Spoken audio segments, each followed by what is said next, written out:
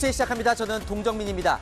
윤석열 대통령이 한일 회담 이후 처음으로 직접 입장을 밝히며 정면 돌파에 나섰습니다. 대국민 담화 수준으로 국무회의에서 25분간 공개 발언을 했는데요. 한일 관계를 방치하는 건 대통령의 책무를 저버리는 일이라며 결단을 강조했고 반일을 외치며 정치적 이득을 취하려는 세력이 존재한다며 야권을 겨냥했습니다. 박정희, 김대중 전 대통령, 처칠 영국 수상, 저원 라이 중국 총리 등 명언을 총동원하며 국민 설득에 나섰는데요. 여론이 반전할까요? 첫 소식 조영민 기자입니다.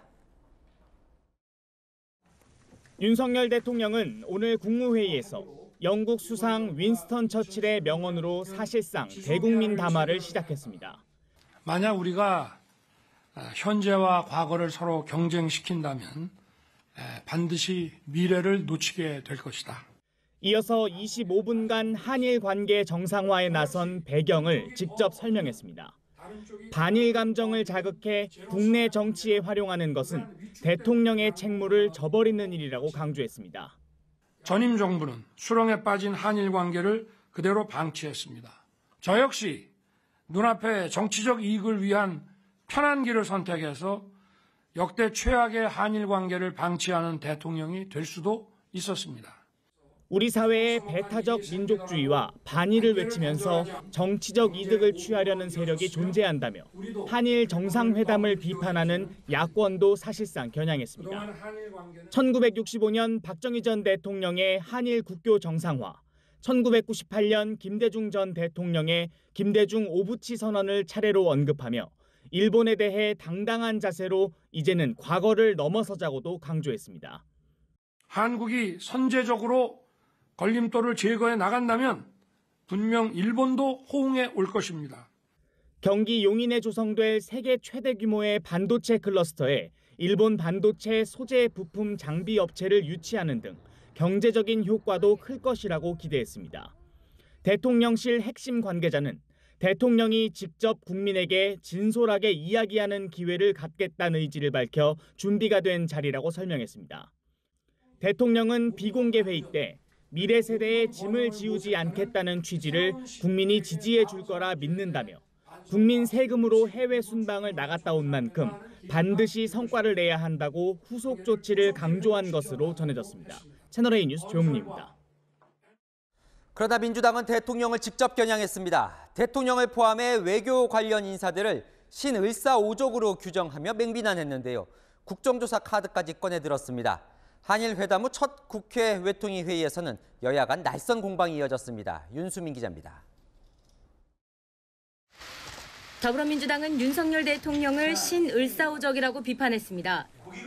국민들이 윤석열 대통령, 박진 외교부 장관, 김성한 안보실장, 김태호 제1차장, 정진석 의원을 일컬어 실, 신을사오적이라 비판하고 있는 것입니다.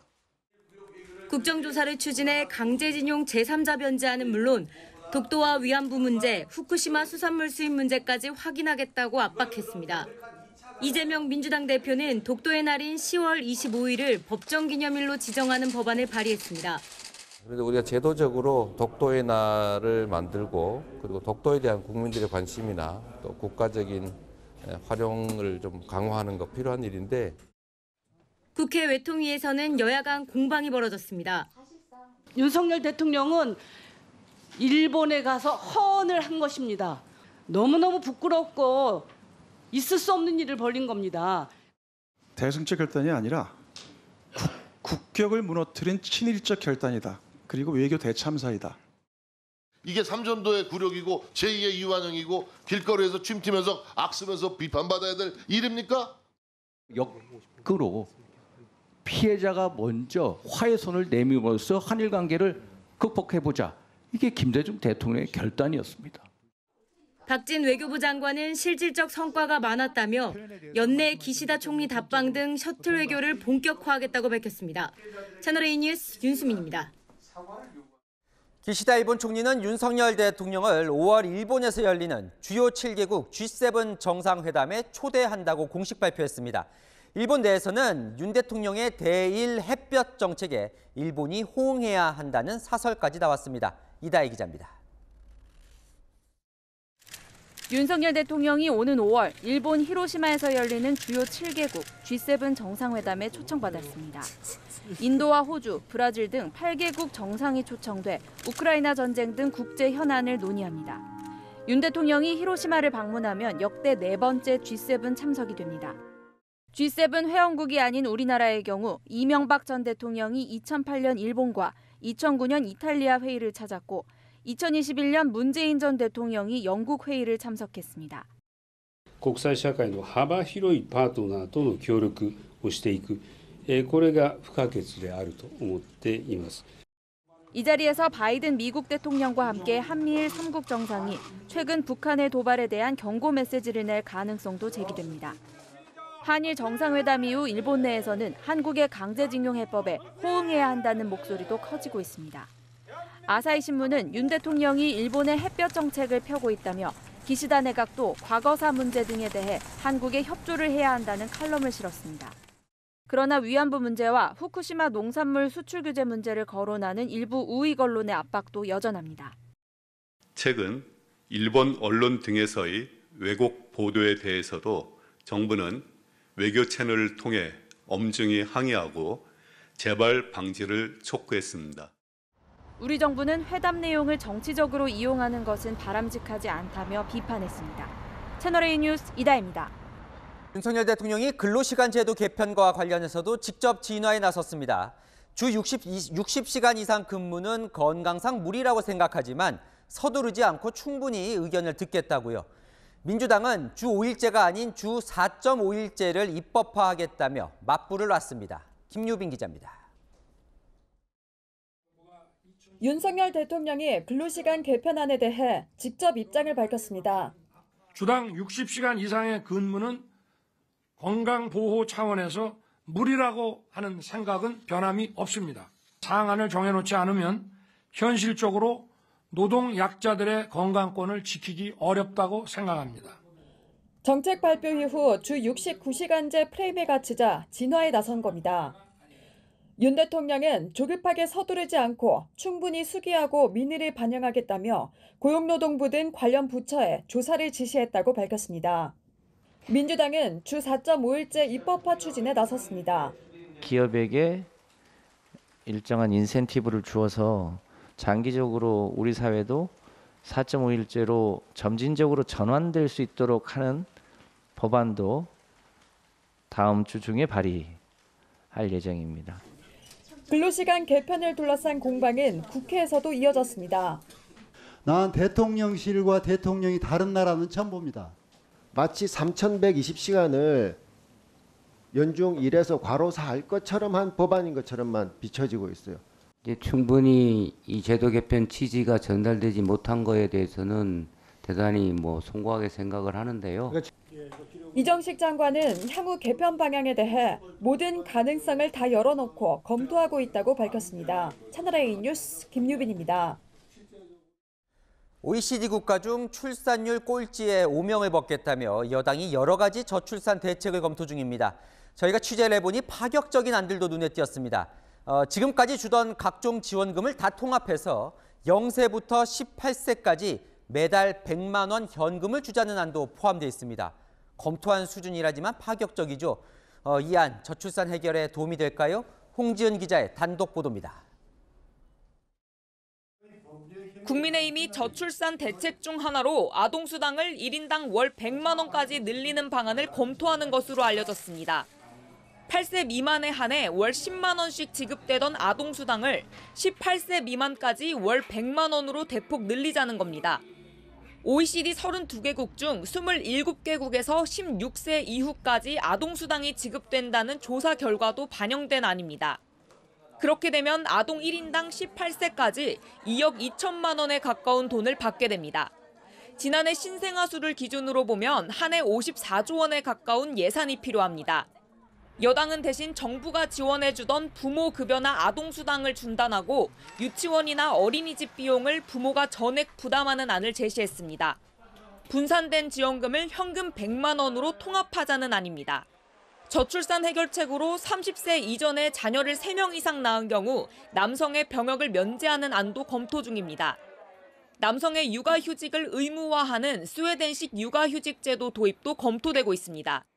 부부가 총 480일 동안 부모 휴가를 사용할 수 있도록 하는데 남성도 최소 90일 휴가를 의무 사용하도록 하는 제도입니다.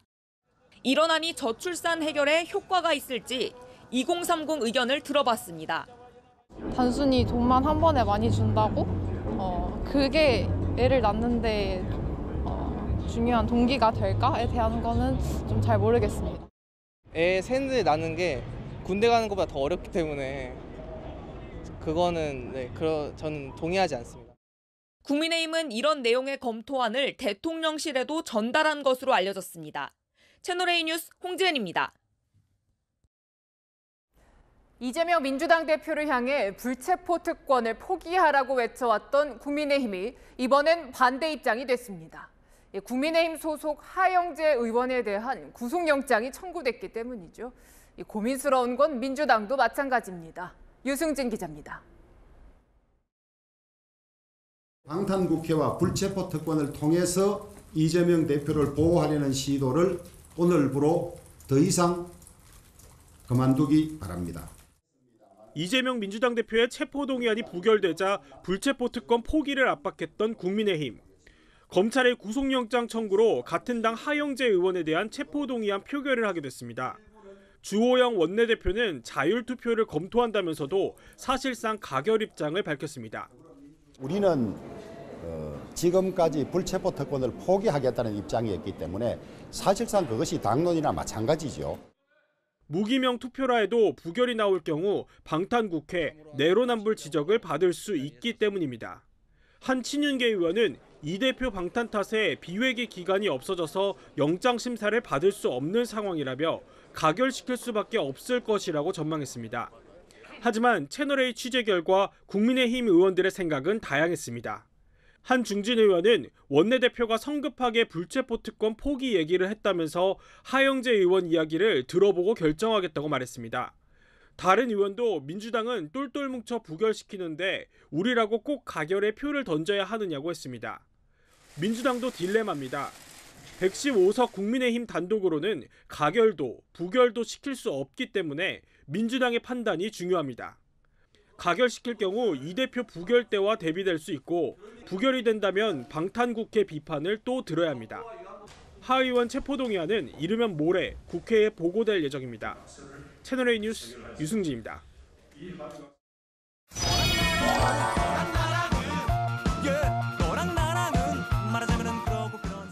열랑열랑 정치부 김민지 기자와 함께합니다. 첫 번째 주제 보겠습니다. 박정희 전 대통령과 윤석열 대통령이 보이는데요. 몇 년 전 이야기일까요? 58년 전입니다. 오늘 윤 대통령이 국무회의에서요. 한일 관계 문제에 대해서 얘기했잖아요. 자세히 들어보니까 1965년 박정희 전 대통령의 한일 국교 정상화 담화문을 쏙 빼닮았습니다.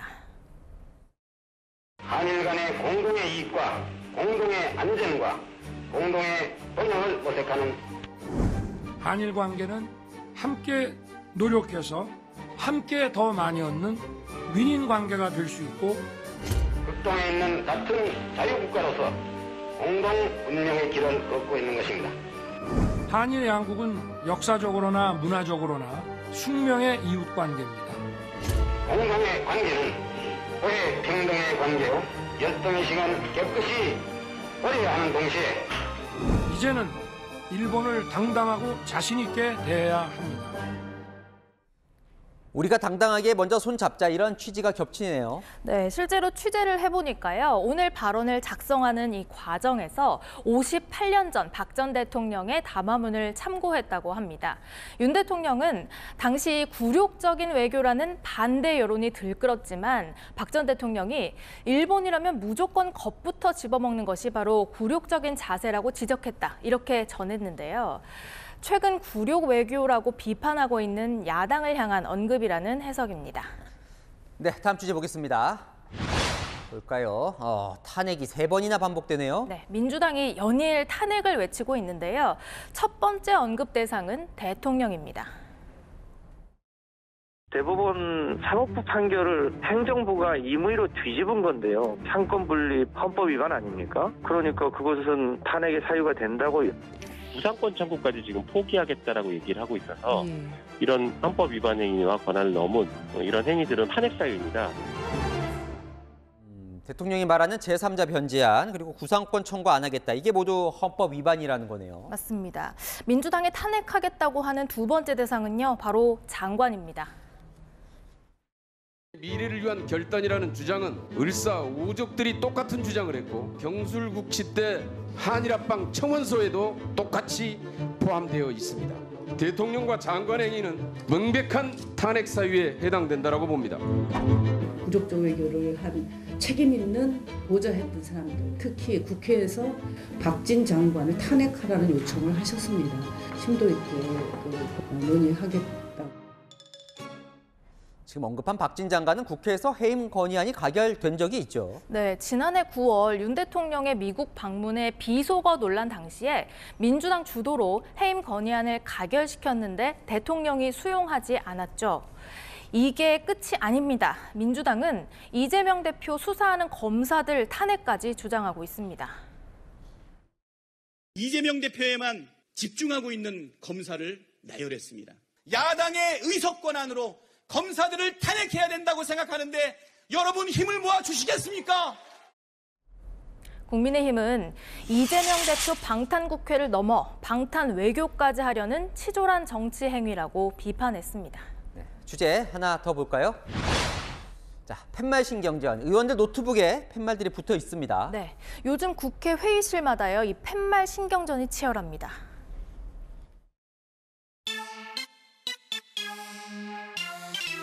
뭘 PK 이렇게 크게 만드셨어. 우리 거 두 배쯤 되네. 요 작게 해야지 뭔. 왜 대통령실 못 나와요?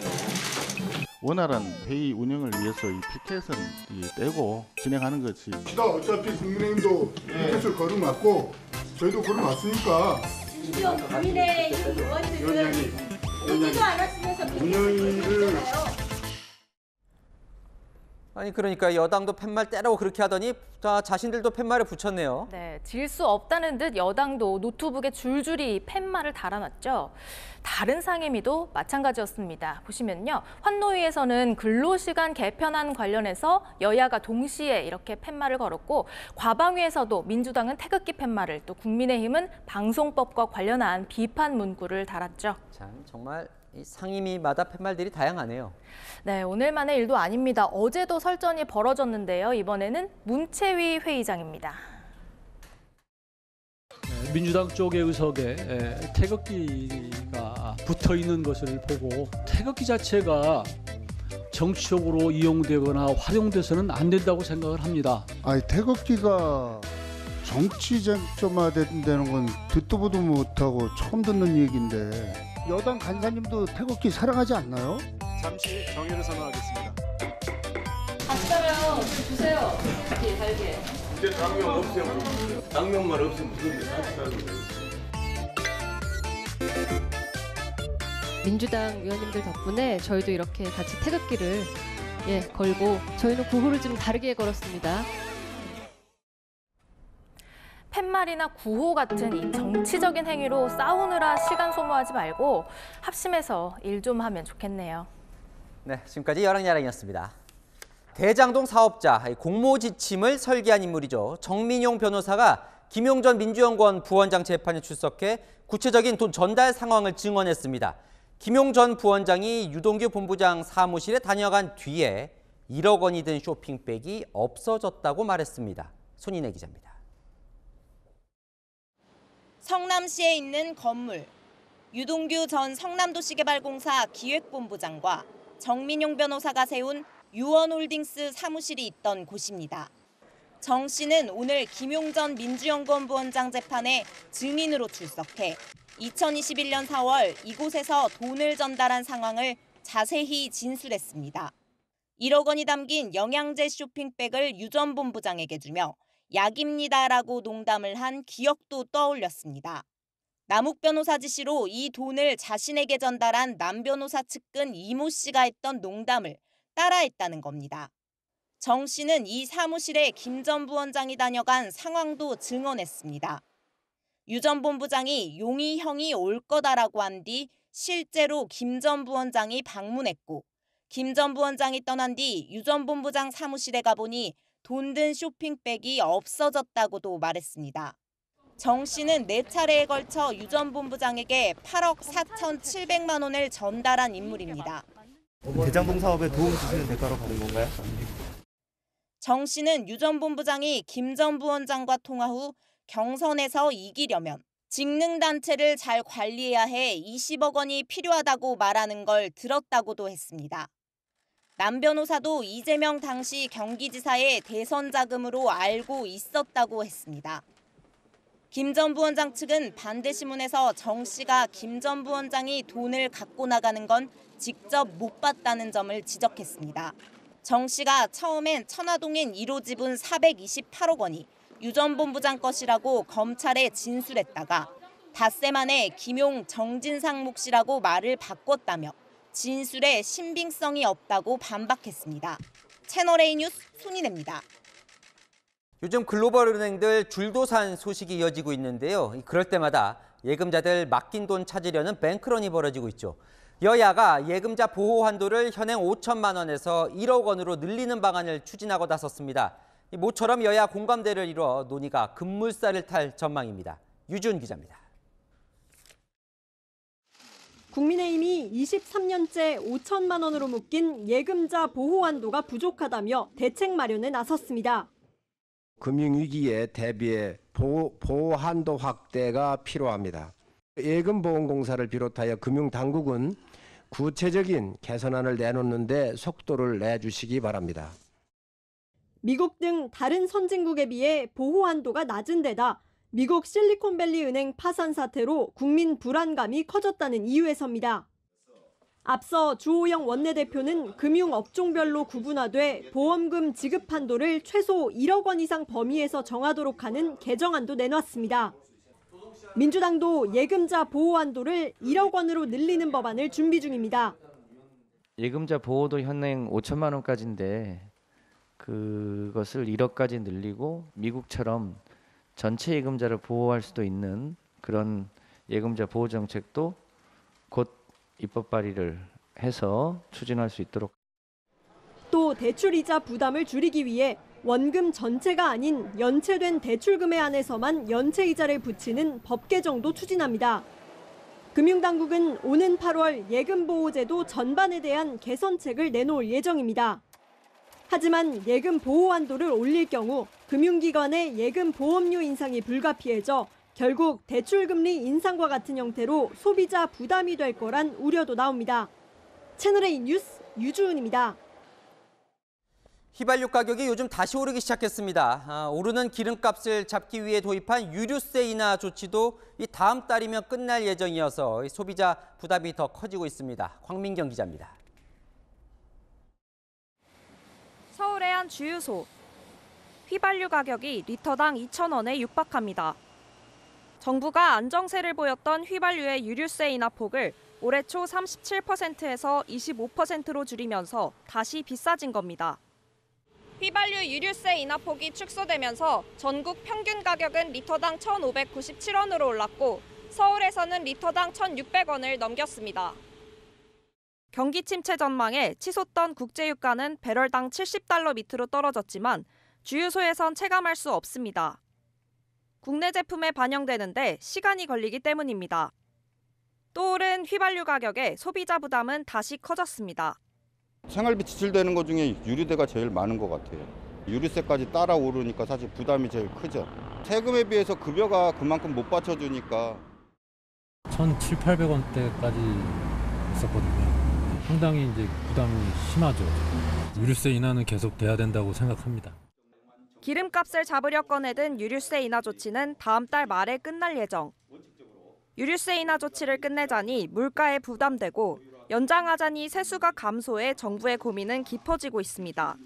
세수 측면도 고려를 해야 되는 거고 무역 적자도 상당히 크잖아요. 정부 입장에서는 정상화를 좀 고려할 필요성이 이제 커지지 않았나 싶습니다. 유류세 인하 조치 연장 여부는 다음 달 중에 발표될 계획입니다. 채널A 뉴스 광민경입니다. 요즘 일본 여행 많이들 가는데요. 거꾸로 한국으로 오는 일본 관광객도 크게 늘었습니다. 일본 고등학생들 수학 여행으로도 서울을 찾는데요. 어, 덕분에 동대문 시장도 다시 활력을 찾았다고 합니다. 권솔 기자가 취재했습니다. 교복을 입은 학생들이 공항으로 쏟아져 들어옵니다. 얼굴엔 한박 웃음이 가득합니다. と韓国ドラマと韓国アイドルが好きであのイテウォンクラスのパク・ソジュンさんがとても好きです 코로나19 이후 한국을 찾는 일본 수학여행단은 지난 2020년 이후 3년 만에 처음입니다. 일본 구마모토현에서 온 37명의 학생들은 4박 5일 일정으로 서울과 전주 일대를 돌아볼 예정입니다. 최근 한국을 찾는 일본 관광객이 부쩍 늘었습니다. 最高ですとても良かったです 料理は美味しいし 새롭게 K-팝과 한류에 빠진 10대들이 부쩍 눈에 띕니다. 윤아 씨는 사촌 등 12명이나 되는 대가족이 한국에 왔습니다. SNS 영상으로만 접했던 한국 화장품도 두 손 가득 샀습니다. 韓国のアイドルのそのお店に行ってみたいです 16살 마이 씨도 엄마와 둘이서 한국 여행 중입니다. 머리부터 발끝까지 모두 한국에서 사 입은 옷입니다. この服もこの服もえっ、とあとメイクも全部韓国で買いましたトンデモンとあとミョンドン 한국 음식은 빼놓을 수 없는 추억입니다. ラーメンを食べてそうめんも食べてあと焼肉とか美味しかったです 지난 1월 한국을 찾은 외국인 관광객 중 1위는 일본인 관광객. 코로나가 극심했던 지난해 1월 대비 57배 증가했습니다. 겨울이 길었던 관광 상권에 봄바람이 기대됩니다.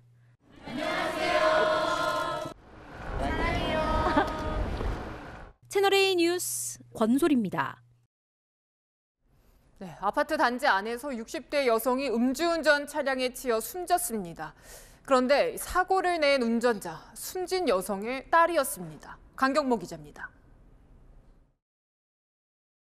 구급차가 경광등을 켜고 아파트 단지로 들어갑니다. 곧이어 순찰차가 뒤를 따릅니다. 오늘 새벽 4시 10분쯤 이 아파트 단지에서 60대 여성이 SUV 차량에 치이는 사고가 났습니다. 여성은 심정지 상태로 병원에 옮겨졌지만 끝내 숨졌습니다. 어머니가 쓰러졌는데 뒤로 넘기니까 이게 라이트가 비춰도 잘 안 보이잖아요. 그러니까 저 1분 뒤로 안것 같아요.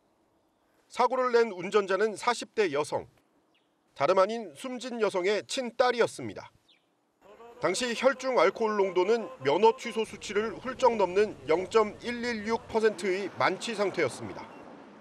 숨진 어머니는 1년 전 이 아파트에 이사 온 뒤 혼자 거주해 온 것으로 알려졌습니다. 저희는 입사카드 등록되어 있는 것만 보고 아는 거거든요. 엄마만 등록이 되어 있어요. 딸은 경찰 조사에서 어머니 집을 방문한 뒤 주거지인 경기도 평택으로 출발하는 과정에서 사고를 냈다고 진술했습니다. 구체적으로 받아봐야 아는 거고 운전자 입장에서 저는 인식을 못했던 거 분명한 것 같아요. 경찰은 현장 CCTV와 블랙박스 등을 국립과학수사연구원에 의뢰해 분석에 나섰습니다. 또 새벽 시간대 어머니가 사고 현장에 나온 이유 등 정확한 사고 경위를 조사하고 있습니다. 채널A 뉴스 강경모입니다. 철없는 10대 중학생의 불장난에 영화관 건물에서 100여 명이 긴급 대피했습니다. 호기심 때문에 승강기에 불을 낸 이 학생, 이 형사처벌을 받지 않는 14살 미만, 즉 촉법 소년이었습니다. 김태현 기자입니다. 식당에 다급히 들어온 두 여성. 밖으로 나오라고 연신 손짓합니다. 식당 앞 복도에도 사람들이 서둘러 나가는 모습이 보입니다. 식사 중이던 손님도 소방관 안내에 따라 음식을 놓고 나갑니다. 여기 있는 분들 일단 나가라고 대피시키고 거기다 그냥 말씀드려서 이제 영화관 중간에서 나갔어요. 전북 익산의 영화관 건물 승강기에서 불이 난 건 휴일이던 그제 오후 2시 15분쯤. 다행히 불은 20분 만에 꺼졌지만 영화 관람객 등 100여 명이 긴급 대피하는 소동을 벌였습니다.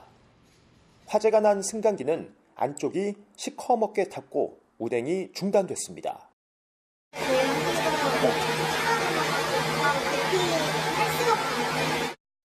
화재 원인은 만 13살, 중학교에 다니는 남학생이 낸 방화였습니다. 불을 붙이는 모습이 승강기 CCTV에 포착돼 덜미가 잡혔습니다. 일회용 라이터를 갖고 있다가 호기심에 불을 붙였다고 진술한 것으로 알려졌습니다. 이 현행법상 사람이 머무는 건물 등에 불을 내면 무기징역 또는 3년 이상 징역에 처해집니다. 하지만 불을 낸 학생은 만 14세 미만의 촉법 소년이어서 형사처벌을 할 수 없습니다. 경찰은 추가 조사를 마치는 대로 법원 소년부에 송치할 예정입니다. 소년 사건은 2년 이내 소년원으로 보내지는 10호가 가장 무거운 처분입니다. 채널A 뉴스 김태형입니다. 네, 우리나라 산림 지역 곳곳엔 돼지열병을 막겠다며 설치해 놓은 울타리가 있습니다. 이 길이를 모두 더하면 2,800km, 서울에서 부산까지 거리의 7배나 됩니다. 이 곳곳이 뚫어지고 쓰러져서 관리에 애를 먹었는데 요즘은 좀 개선이 됐을까요? 이솔 기자가 다시 가봤습니다.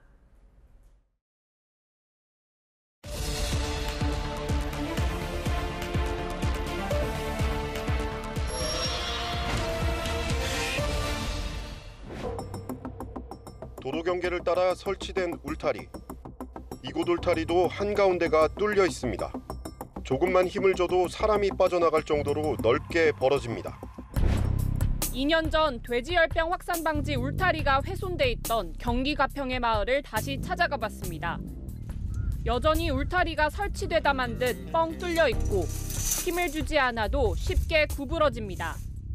돼지가 산에서 내려오잖아요. 네. 그럼 여기도 산이고 저기도 산인데 이거, 이거 호나마나 아니야? 이건 누가 잘못한 거야? 이번엔 강원도 화천으로 가봤습니다. 산을 따라 설치된 울타리입니다. 낙엽과 토사의 무게를 견디지 못해 쓰러진 건데요. 옆으로 이어진 울타리도 위태롭게 기울어졌습니다. 관할 지자체는 훼손 여부도 모르고 있습니다. 아직 수리하지 않은 훼손된 자요? 제가 파악하고 있는 거는 아직은 없습니다. 도로 옆 산책로 양쪽이 울타리에 둘러싸인 곳도 있습니다. 이중으로 설치돼 있는 겁니다. 뭐 우리들 생각에는 치지 말아야 될 부분도 엄청 많이 쳤었어요. 거기다 칠 필요가 없는데 거기다 막 쳐놨단 말이에요. 환경부는 아프리카 돼지열병에 걸린 멧돼지가 북에서 남으로 내려오는 걸 막기 위해 경기와 강원, 경북 지역에 걸쳐 서울, 부산 거리의 7배에 달하는 광역 울타리를 설치했습니다. 설치에만 1,600억 원, 유지 보수에는 해마다 40억 원이 들지만 제대로 관리가 되지 않고 있습니다. 주민들은 불편함을 호소하며 울타리에 달린 출입문을 아예 열어두고 지냅니다. 360을 그냥 열어놓고 있죠. 큰 가구 같으면 자기네가 닫고 대문처럼 열고 들어갔다 나왔다 하지만 저기 그 맥가구가 있는데 어느 사람이 경비가 있어갖고 열어줬다 닫았대. 밭에는 며칠 전 멧돼지가 다녀간 흔적이 그대로 남아 있습니다. 이불 열리고 뭐 자꾸 그러면서 들어온 거. 아니 사람들이 자꾸 드나드니까 하고 일로에서 들어왔더라고. 국립공원 안에 설치된 출입문도 마찬가지입니다. 설악산 국립공원 아닙니다. 이곳은 아프리카 돼지열병 관리 지역으로 이동 후 출입문을 닫아주시기 바랍니다.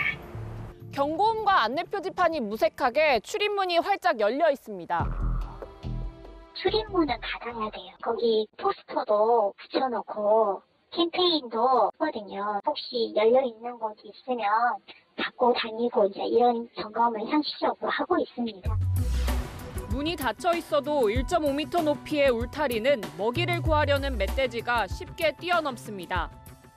멧돼지가 학습의 동물이고 울타리가 물리적으로 얘를 남하를 막아주었었던 때는 조금 시간이 지나가지 않았나. 만약에 보수가 필요한 곳들이 점점점 생기면 구간을 정해서 서서히 좀 철거해 가는 방향으로.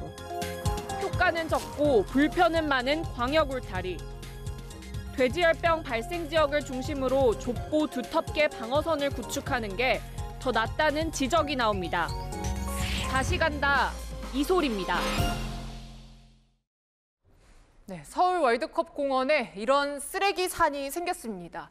이 1980년대에 버린 과자 또 라면 봉지 같은 것들이 한가득입니다. 이 40년 전쯤 파묻은 쓰레기가 왜 지금 드러난 걸까요? 김태우 기자가 취재했습니다. 서울 마포구 월드컵 공원.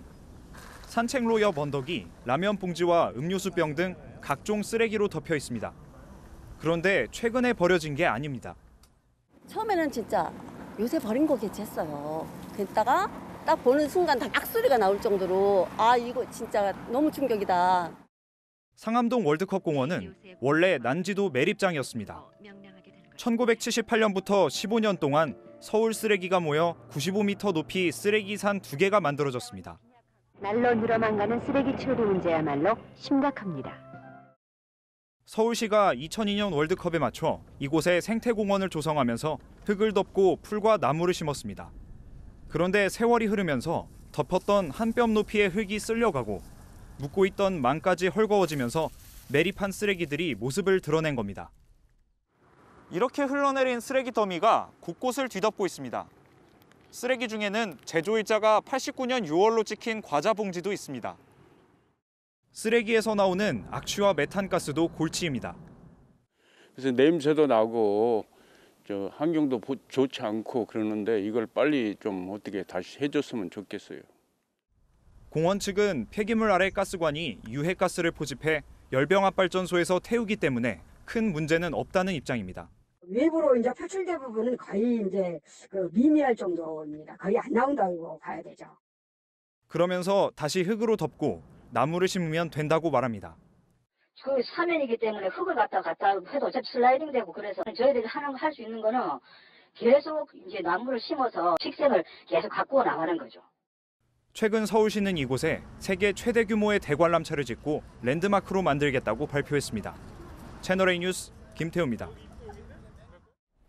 서울 도심 한복판에 땅꺼집 현상, 싱크홀이 생겨서 출근길 교통 혼잡이 빚어졌습니다. 이 종종 큰 사고로 이어지기도 하는 싱크홀 왜 생기는지 김정근 기자가 알아봤습니다. 중앙차로 버스 정류장 바로 옆 2차선 도로 한가운데가 뻥 뚫려 있습니다. 서울 종로구 숭인동 인근에 지름 50cm, 깊이 1.5m 규모의 싱크홀이 발생한 건 출근 시간인 오늘 오전 6시 50분쯤. 교통 혼잡이 빚어졌고 차량들은 통제에 따라 아슬아슬 현장을 지나갑니다. 복구 작업은 정오쯤 마무리됐는데 이상 징후는 진작부터 있었습니다. 어제 오후 7시 50분쯤 도로가 움푹 패여 있다는 신고가 접수됐고 관계기관이 임시 조치를 했지만 밤사이 도로가 푹 꺼진 겁니다. 저희가 이제 그 치마가 돼 있는 부분은 우선적으로 조치를 취하 왜냐면 차량 소탱 때문에 계획 잡아서 야간에 이제 조치를 취하거든요. 이번 싱크홀은 깨진 하수도관에서 물이 새며 발생했습니다. 지난 7일 용산구에서도 하수도 누수에 따른 싱크홀이 발생해 학원 차량 바퀴가 빠지는 사고가 있었습니다. 하수관의 경우에는 겨울에 동결되어 있다가 봄에 녹으면서 파손된 부위에서 누수가 자주 발생합니다. 이럴 때 싱크홀 발생 가능성이 높아지므로 주의를 요합니다.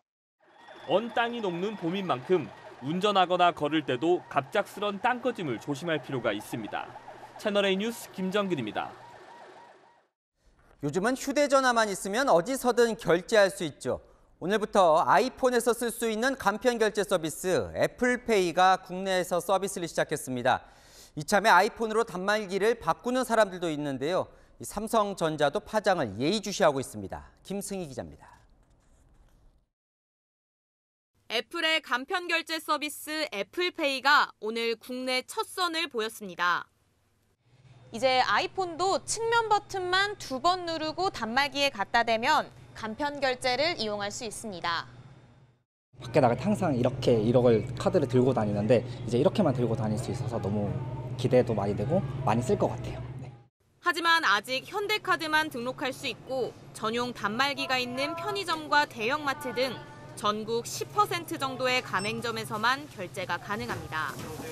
대중교통에선 사용할 수 없고 스타벅스 등 신세계 대부분 계열사의 도입 여부가 불확실합니다. 이런 한계에도 오늘 오전에만 17만 명이 등록했습니다. 애플페이가 글로벌 결제 시장에서 비자에 이은 2위인 만큼 시장 영향이 클 걸로 전망됩니다. 국내 간편 결제액 규모는 하루 평균 7,231억 원. 시장 절반을 네이버와 카카오 등이 차지하고 삼성페이 점유율은 24%인데 애플페이 점유율이 내년 15%까지 오를 거란 전망도 나옵니다. 이를 의식해 삼성전자는 삼성페이 가맹점에서 네이버페이를 쓸 수 있게 하는 등 서비스 강화에 나섭니다. 스마트폰 시장에서도 격전이 벌어질 수 있습니다. 삼성페이 때문에 핸드폰을 갤럭시로 계속 쓰려고 하던 편이라서 이번에 바꿔볼까 생각도 하고 있어요. 이런 수요를 겨냥해 통신사들은 아이폰 14 공시 지원금을 최대 45만 원으로 올렸습니다. 하지만 사용자가 몰리며 카드 등록에 6시간 넘게 걸리거나 결제 오류 소동도 벌어져 서비스 보완이 필요하다는 지적이 나옵니다. 채널A 뉴스 김승입니다. 요즘 현금 쓸 일이 거의 없죠. 아예 현금 쓸 수 없는 곳들도 많습니다.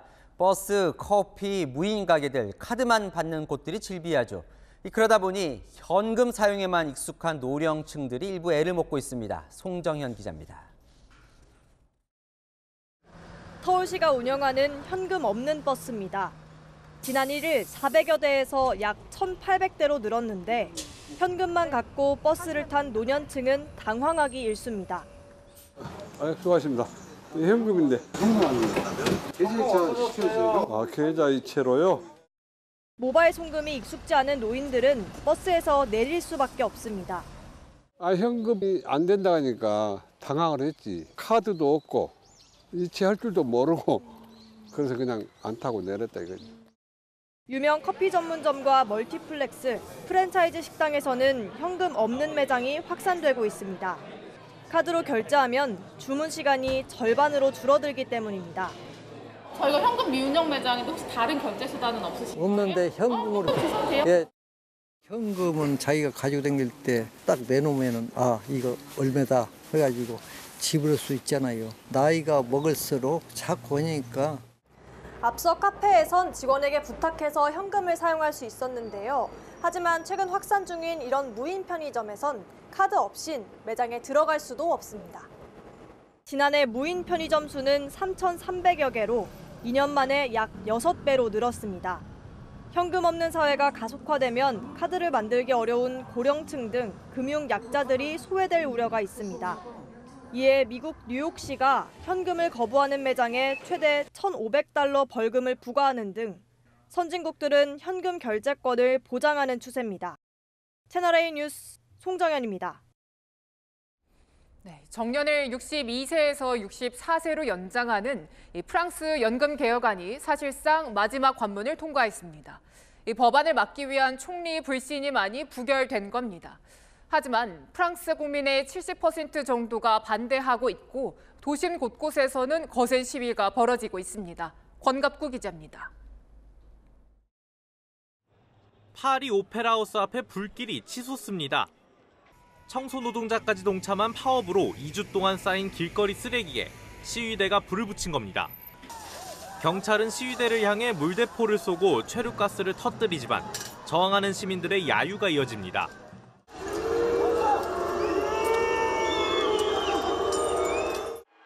마크롱 프랑스 대통령이 2019년에 실패했다가 정치 생명을 걸고 다시 밀어붙였던 연금 개혁이 사실상 통과됐습니다. 헌법 특별 조항을 발동해 하원 표결을 건너뛰고 법안을 처리한 보른 총리의 불신임 투표가 부결되면서 해당 법안의 취소에도 제동이 걸린 겁니다. 과반에 단 9표가 모자랐습니다. Ce sont des députés qui dénient son rôle au Parlement et affirment que la rue est plus légitime que les institutions. 더 내고 늦게 받는 프랑스의 연금 개혁안에 따르면 현행 62세인 정년은 올 9월부터 해마다 3개월씩 늘려 2030년 64세로 높아집니다. 또 연금을 100% 받기 위해 일해야 하는 기간을 43년으로 1년 늘리는 시점도 2027년으로 앞당겼습니다. 2050년 61조 원 적자로 예상됐던 프랑스 연금은 이번 개혁을 통해 2030년에 25조 원 흑자를 낼 것으로 전망됐습니다. C'est une grosse déception puisque euh, la démocratie veut qu'on vote pour des représentants qui ensuite eux-mêmes vont voter pour les lois. 헌법위원회 검토와 마크롱 대통령의 서명을 거치면 개혁안이 시행되지만 프랑스 국민 70% 정도가 반대하고 있어 거센 시위는 계속될 것으로 보입니다. 채널A 뉴스 홍각구입니다. 네, 시진핑 주석과 푸틴 대통령이 이틀째 끈끈한 공조 관계를 과시하고 있습니다. 오늘 정식 회담을 열고 우크라이나 사태 해결 방안을 논의하는데 이 미국의 시선이 싸늘합니다. 두 정상의 만남을 범죄 행위 은닉으로 평가했습니다. 베이징에서 공태현 특파원입니다. 만찬과 함께 4시간 반 동안 비공개 회담을 가진 시진핑 중국 국가주석과 푸틴 러시아 대통령은 서로를 친애하는 친구로 부르며 끈끈한 양국 공조를 강조했습니다. 尊敬的普京总统，啊，我也称你为我亲爱的朋友。 푸틴 대통령은 우크라이나 전쟁과 관련해 중국이 발표한 입장을 알고 있다며 해결책을 함께 논의하자고 밝혔습니다. Мы внимательно ознакомились с вашими предложениями по урегулированию э, острого кризиса на Украине. 공동의 목표 달성을 위해 협력하자며 미국도 겨냥했습니다. 两国关系和我们共同关心的 各方面的问题，深入的交换意见。 미국과 서방은 두 정상의 만남에 맞불을 놓았습니다. 미국은 러시아의 범죄 행위를 숨겨주는 행위라고 비판했고 China feels no responsibility to hold the Kremlin accountable for the atrocities committed in Ukraine. Uh, it would rather provide diplomatic cover for Russia to continue to commit those very crimes. 유럽연합은 우크라이나에 155mm 포탄 100만 개를 추가 지원하기로 했습니다. 주요 7개국 가운데 유일하게 우크라이나를 찾지 않았던 일본 기시다 총리도 폴란드를 깜짝 방문해 오늘 키이우로 향하는 열차를 탔습니다. 우리 시각 오늘 밤 예정된 공식 회담에서도 두 정상은 우크라이나 전쟁을 끝내기 위한 해법을 모색하면서 반미 공조를 더욱 과시할 것으로 보입니다. 베이징에서 채널A 뉴스 공태현입니다. 절기 춘분인 오늘 포근함이 감도는 하루였습니다. 내일은 오늘보다 기온이 더 올라서 서울의 한낮 기온 24도까지 오르겠고요. 올봄 들어 가장 따뜻하겠습니다. 따라서 내일은 옷차림 가볍게 하셔도 좋겠습니다. 서울은 9도, 대구는 12도, 광주는 13도로 출발하겠고요. 한낮에는 서울과 대전 24도가 예상됩니다. 내일 서쪽을 중심으로는 고농도 미세먼지가 머물 텐데요. 서울은 오전에만 미세먼지 나쁨 수준이 예상됩니다. 내일 전국이 흐린 가운데 봄비 소식이 있습니다. 제주는 내일까지 최고 30mm의 비가 내리겠고요. 내일 밤부터 모레 오전 사이 경기 남부와 충청, 남부지방에는 5mm의 비가 예상됩니다. 서울 등 그 밖의 수도권에는 빗방울이 떨어지는 곳이 있겠습니다. 목요일부터는 찬 공기가 유입되면서 다시 기온이 낮아지겠습니다. 날씨였습니다. 프랑스에서 연금 개혁 반대 시위가 한창입니다. 프랑스인들도 연금 개혁이 필요하다고는 생각을 합니다. 필요하지만 내가 덜 받거나 늦게 받는 건 싫다는 거죠. 저출산도 마찬가지입니다. 국가 경쟁력 생각하면 해소를 해야지만 내가 낳고 키우기는 부담스럽다는 거죠. 연금 개혁과 저출산, 국가적으로는 꼭 해결해야 하지만 개인은 피하고 싶은 두 난제를 윤석열 정부가 해결하겠다고 나섰는데요. 용두사미로 끝나지 않으려면 두 가지 리더십이 필수인 듯합니다. 마침표 찍겠습니다. 결단과 소통, 뉴스에 마칩니다. 감사합니다.